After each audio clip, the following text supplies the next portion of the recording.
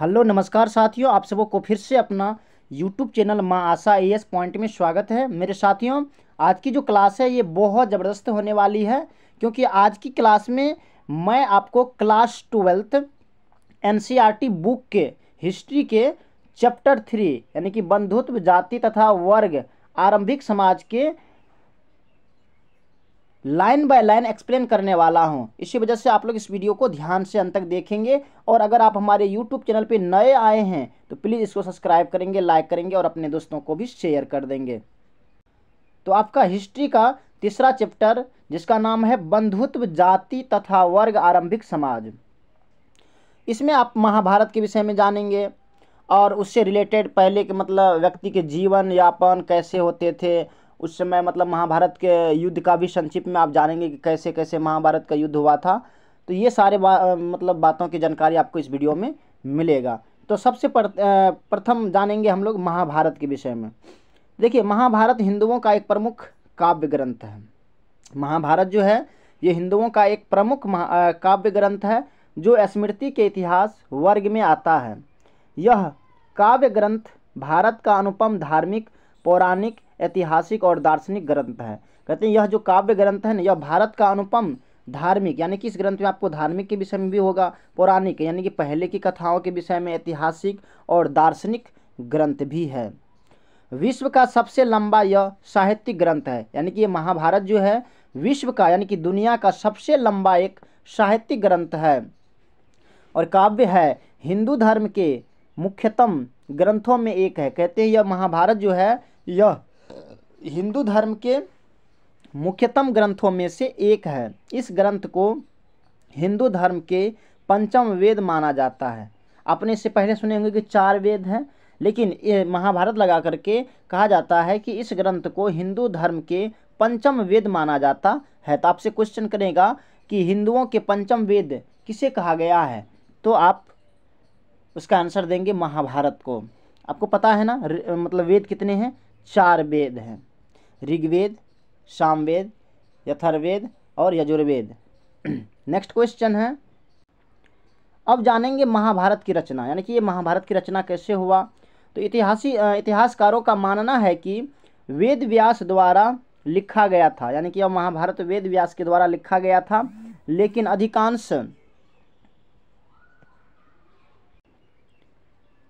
अधिकांश इतिहासकारों का मानना है कि यह कई लेखों की रचना है। इसमें केवल अट्ठासी सौ श्लोक के बाद में छंदों की संख्या बढ़कर के एक लाख हो गई है। 1919 में एक महत्वपूर्ण काम शुरू हुआ। वी एस सुनथनकर के नेतृत्व में एक प्रसिद्ध संस्कृत विद्वान जिन्होंने महाभारत के एक महत्वपूर्ण संस्करण को तैयार करने के लिए समर्पण किया। कहते कि इसमें जो श्लोकों की संख्या है, वो अट्ठासी सौ श्लोक थे। बाद में छंदों की संख्या, उससे बढ़ करके एक लाख हो गई है। नेक्स्ट है कि महाभारत का पुराना नाम जय संहिता था आपसे क्वेश्चन करेगा, किसका पुराना नाम जय संहिता था? तो आप ध्यान रखेंगे कि महाभारत का पुराना नाम जय संहिता था। महाभारत की रचना एक हज़ार वर्ष तक होती रही। कहते हैं ये महाभारत की रचना कोई एक दिन में नहीं हुआ एक हज़ार वर्ष तक होती रही लगभग पाँच सौ बीसी यानी कि बिफोर क्राइस्ट पहले ईसा पूर्व पाँच सौ ईसा पूर्व में इसकी रचना हुई थी। महाभारत से आ, उस समय के समाज की स्थिति तथा सामाजिक नियमों के आ, बारे में जानकारी मिलती है। आपसे क्वेश्चन करेगा कि महाभारत से मुझे क्या सीखने को मिलती है? तो महाभारत से समाज की स्थिति तथा सामाजिक नियमों के बारे में जानकारी मिलती है। नेक्स्ट आपका पॉइंट है कि महाभारत का समालोचनात्मक संस्करण।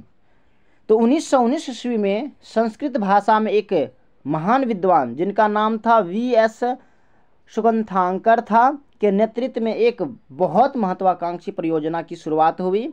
इस परियोजना का उद्देश्य था कि महाभारत नामक महान महाकाव्य की विभिन्न जगहों से प्राप्त विभिन्न पांडुलिपियों को इकट्ठा करके एक किताब का रूप दिया जाए। यानी कि इसका कहना था, इस परियोजना का उद्देश्य था कि महाभारत जो महाकाव्य है, उसके विभिन्न जगहों से प्राप्त भिन्न भिन्न जो मतलब वस्तुएँ इसको प्राप्त हुआ, इकट्ठा हुआ उसका पांडुलिपि हाँ तो उसको क्या करें, इस एक बुक में उसको पूरा छापा जाए और उसके विषय में और विस्तार से बताया जाए।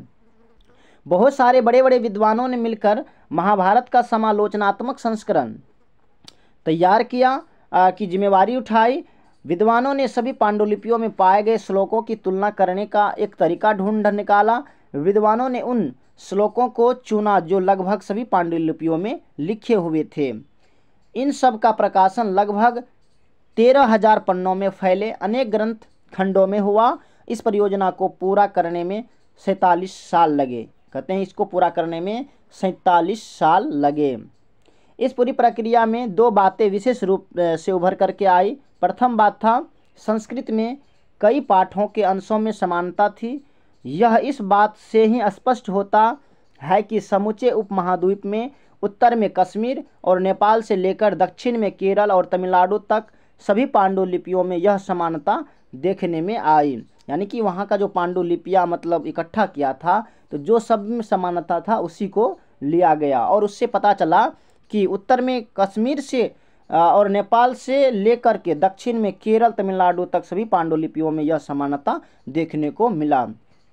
दूसरा बात यह सामने आई कि कुछ शताब्दियों के दौरान कुछ महाभारत के प्रेरण प्रेरण के अनेक क्षत्रिय प्रभेद उभर कर सामने आए। अब नेक्स्ट आपका जो पॉइंट आएगा वो आएगा बंधुता एवं विवाह। बंधुता एवं विवाह। परिवार के विषय में जानते हैं, ये परिवार क्या है? परिवार समाज की एक महत्वपूर्ण संस्था थी। एक ही परिवार के लोग भोजन मिल बांट करके करते थे। या करते हैं? कहते हैं कि परिवार क्या है? परिवार समाज की एक महत्वपूर्ण संस्था थी। एक ही परिवार के लोग भोजन मिल बांट के करते हैं। परिवार के लोग संसाधनों का प्रयोग मिल बांट कर करते हैं। यानी कि कोई भी संसाधन होता है परिवार के एक परिवार में रहने वाले, क्या करते हैं दूसरे का सहायता करते हैं ना? परिवार के लोग एक साथ रहते थे। परिवार के लोग एक साथ मिलकर पूजा पाठ करते हैं। कुछ समाजों में चचेरे और मसोरे भाई बहनों को भी खून का रिश्ता माना जाता है। जैसे हिंदुओं में होता है कि नहीं चचेरे भाई को अपना खून का रिश्ता मानते हैं मसोरे भाई को भी बोलते हैं नहीं ये मेरा खून का रिश्ता है ना। आ, तो इसी तरह से ये समाज का आपका डिफिनेशन हुआ। इसमें से आप दो चार पॉइंट अगर आप लिख लेंगे तो समाज का परिभाषा हो जाएगा। नेक्स्ट है कि पितृवंशिकता। ये पितृवंशिकता क्या है? पितृवंशिका पितृवंशिक से अभिप्राय की पिता की मृत्यु के बाद उसके संसाधनों का हकदार उसका पुत्र का है। कहते हैं कि जब पिताजी गुजर गए, उसके बाद पिताजी की मृत्यु के बाद जो उसका जो भी संपत्ति बचा हुआ है, उसका हकदार उसका पुत्र का होना चाहिए। इसे पितृवंशिक व्यवस्था कहते हैं।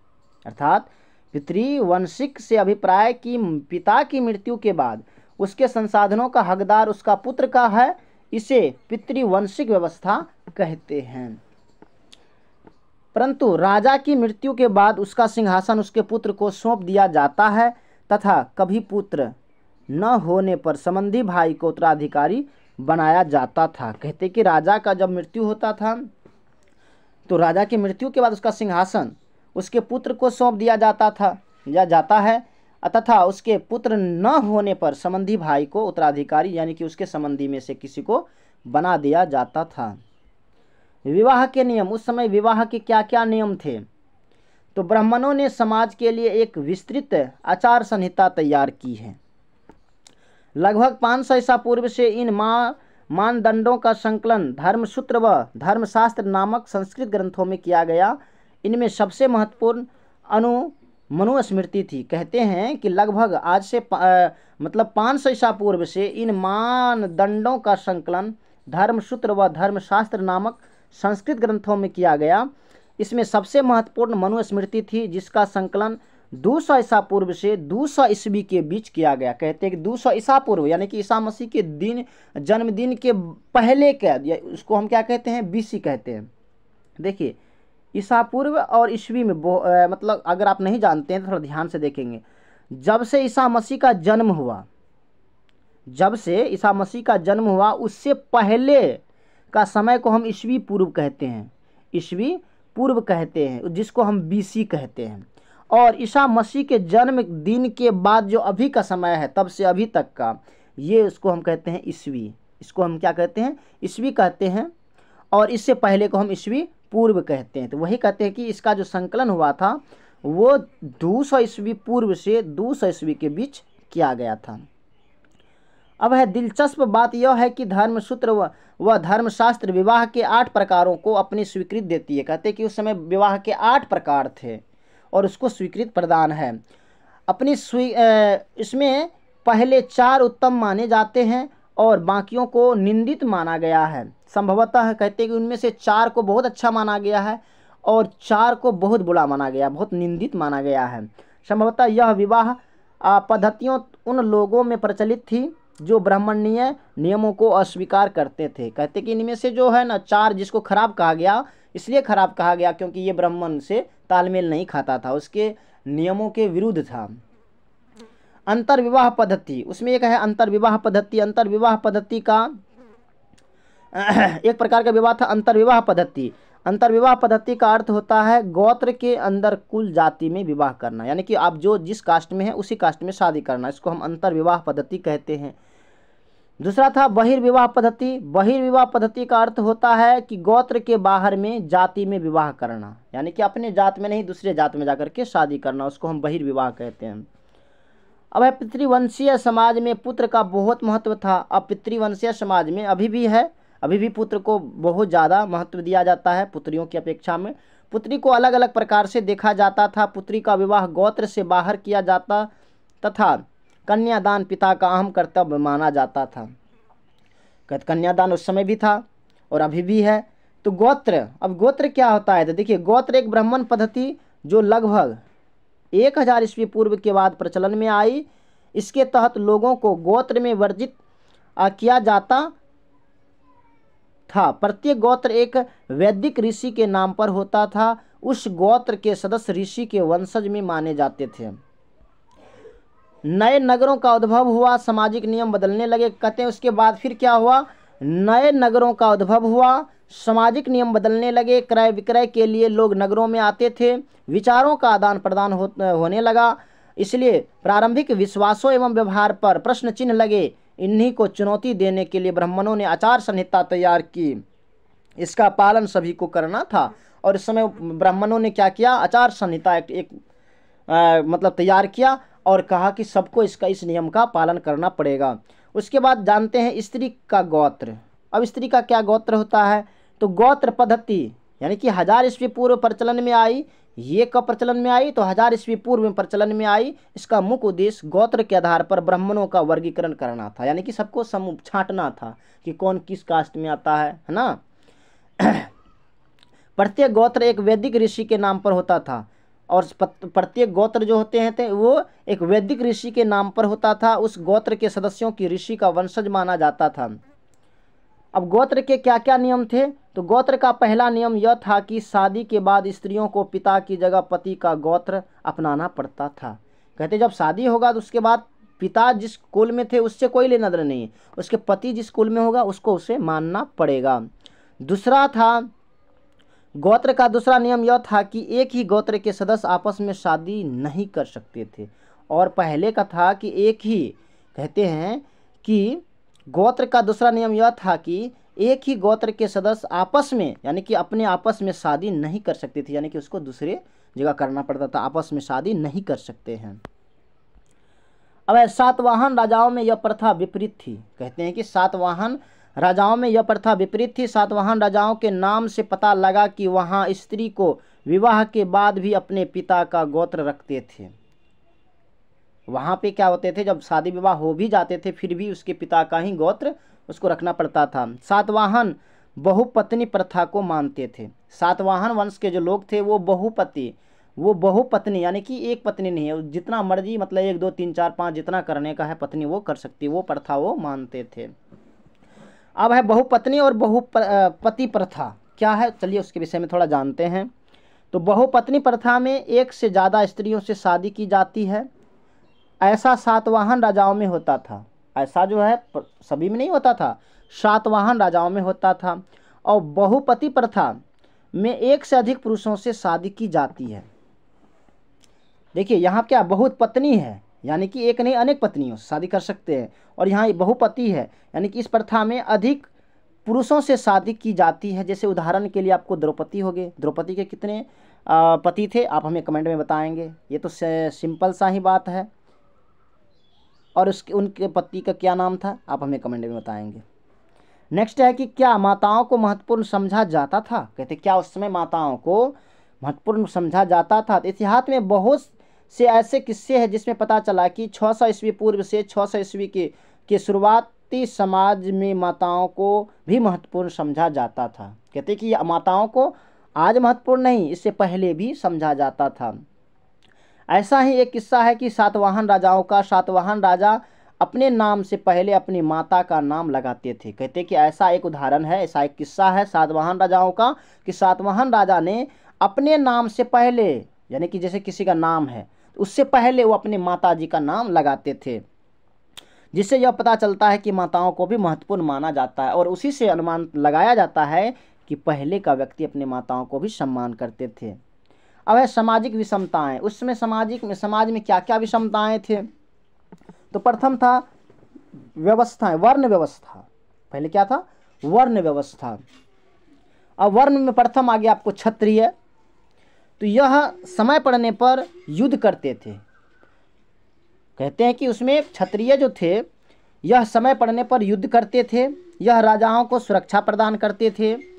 वेदों को पढ़ना और यज्ञ कराने का कार्य क्षत्रियों को दिया जाता था।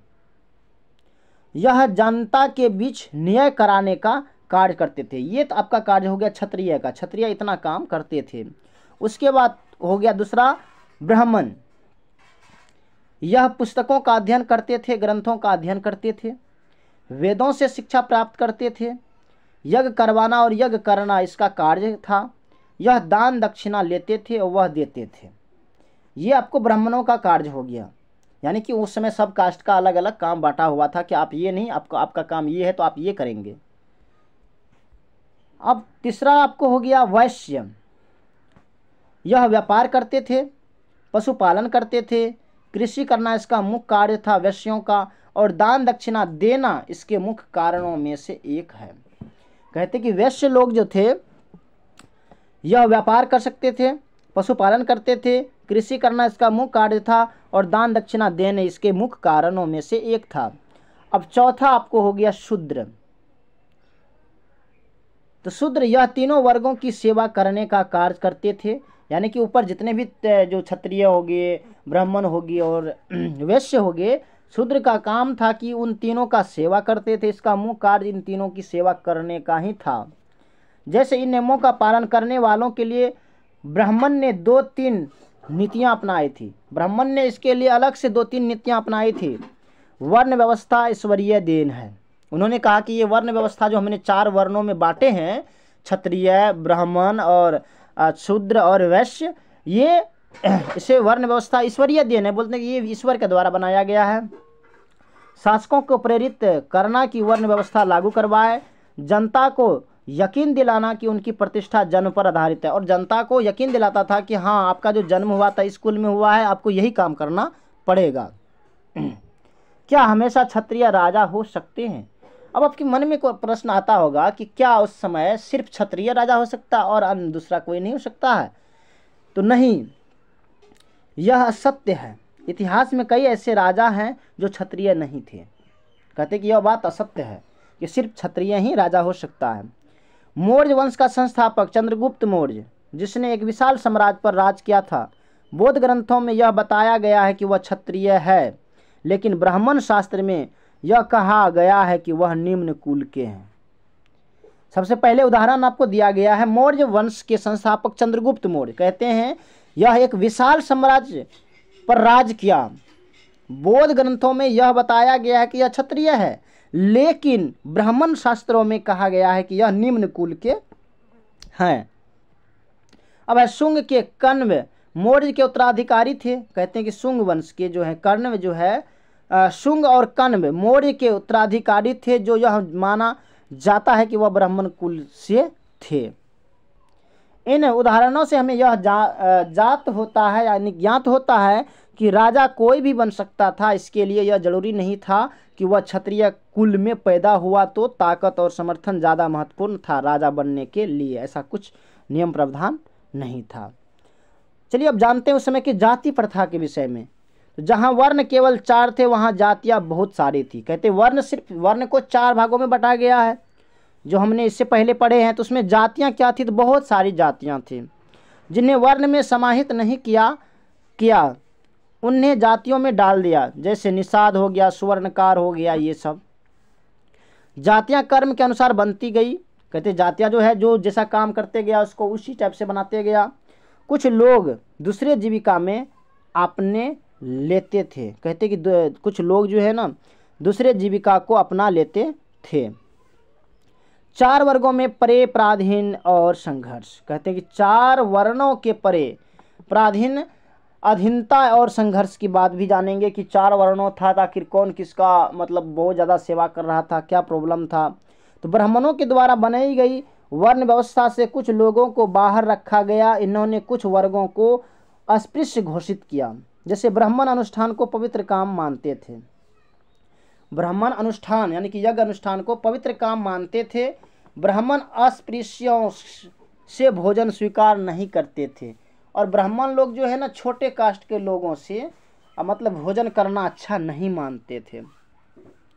कुछ काम दूषित माने जाते थे, जैसे सबका अंतिम संस्कार करना और मृत जानवरों को छूना। इन कामों को करने वाले को चंडाल कहा जाता था। और ब्राह्मणों ने कहा और उसको कुछ दूषित काम माने जा, जैसे कि कोई अगर कोई अगर मुर्दा को जलाते थे तो और जैसे कि जानवरों का छाल वगैरह मतलब पहले करते थे ना, उछालते थे ना।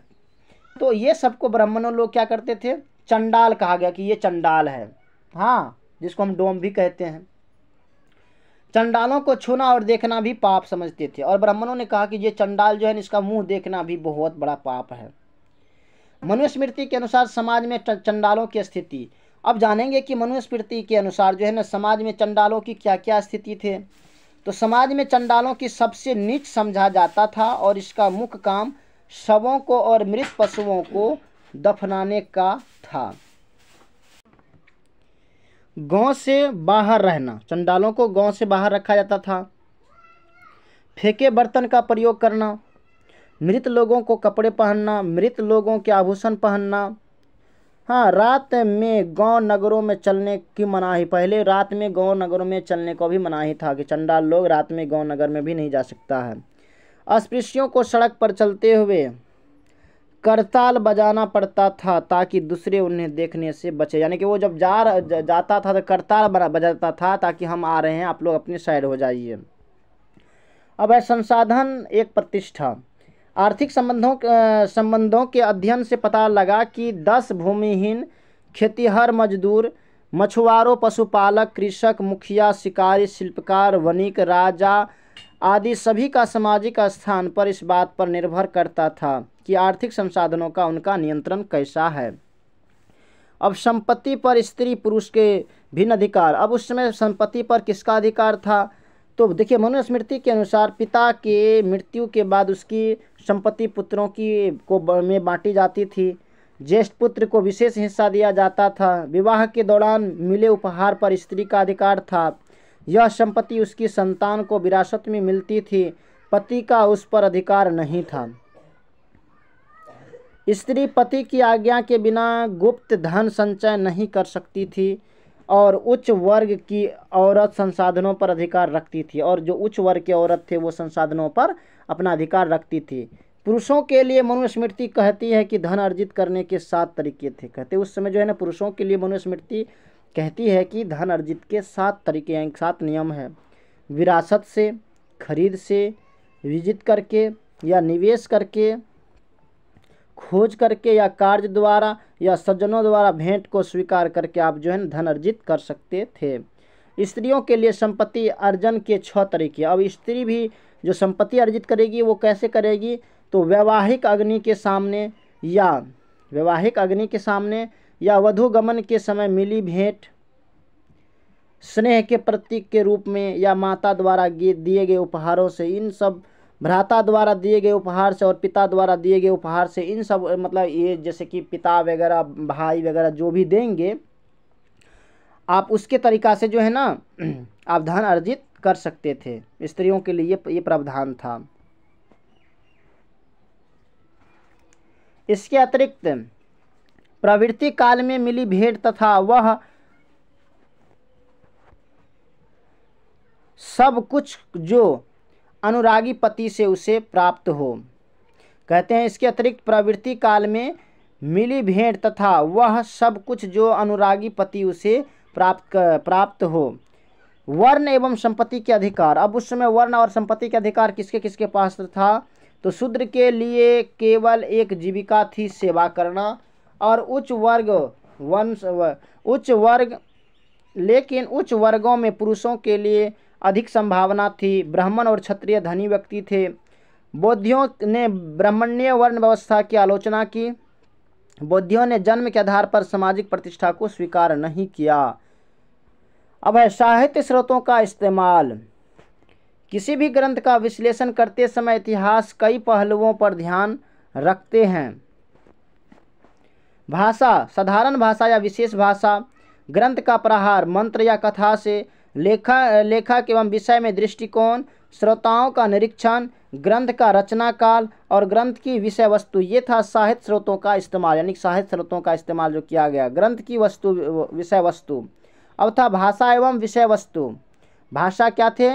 तो आख्यान हो गया, आपको कहानियाँ हो गया, ग्रंथ विषय वस्तु में आपको हो गया उपदेशात्मक, उसके बाद सामाजिक आचरण, विचार के मानदंड। अब है सदृश्यता की खोज में बीबी लाल के प्रयास। कहते हैं कि सदृश्यता के खोज में बीबी लाल के क्या प्रयास थे? तो उन्नीस सौ इक्यावन से बावन में एक प्रसिद्ध पुरातात्विक और इतिहासकार जिनका नाम था बीबी लाल ने मेरठ ज़िले यानी कि उत्तर प्रदेश के हस्तिनापुर नामक नाम के गाँव में खुदाई का काम किया। लेकिन जैसा हम किताबों में पढ़ते आए हैं कि यह हस्तिनापुर वैसा बिल्कुल नहीं था। हालाँकि संयोग से इस जगह का नाम भी हस्तिनापुर ही था। बीबी लाल जी को यहाँ की आबादी के कुछ सबूत मिले। बीबी लाल ने बताया कि जिस जगह खुदाई की गई, वहाँ से मिट्टी की बनी दीवारों और कच्ची ईंटों के अलावा कुछ भी नहीं मिला। और इससे यह पता चला पता चली कि शायद जैसा महाभारत में हस्तिनापुर दिखाया जाता रहा है, जिसमें बड़े बड़े महल थे, लेकिन यहाँ से ऐसा कुछ नहीं मिला। अब जानेंगे महाभारत एक गतिशील ग्रंथ है कैसे। तो देखिए, महाभारत एक गतिशील ग्रंथ है क्योंकि यह हज़ारों सालों तक लिखा गया है। इसमें कई साले कई सारे परिवर्तन पिछले कई सालों में आए हैं। इसका अनुवाद भी कई सारी भाषाओं में अलग अलग हुआ है। इसमें कई सारे श्लोक है और यह दुनिया का सबसे बड़ा महाकाव्य है। तो मेरे साथियों, इसमें जितने भी मेन मेन इंपॉर्टेंट पॉइंट थे, हमने बताए हैं। बाकी जो भी पॉइंट बचा हुआ है, हम इसके जो पार्ट टू वीडियो बनाएँगे, उसमें मैं आपको एक एक करके और सारे इसके जो जितने भी पॉइंट हैं, उसके विषय में हम एक्सप्लेन करेंगे। बाकी ये वीडियो आपको कैसा लगा, आप हमें कमेंट में बताएँगे। अगर आपको अच्छा लगा होगा तो प्लीज़ आप हमारे यूट्यूब चैनल को भी सब्सक्राइब करेंगे लाइक करेंगे और अपने दोस्तों को भी शेयर करेंगे। बाकी so thanks very much all the best फिर मिलते हैं आगे की वीडियो में। तब तक के लिए जय हिंद।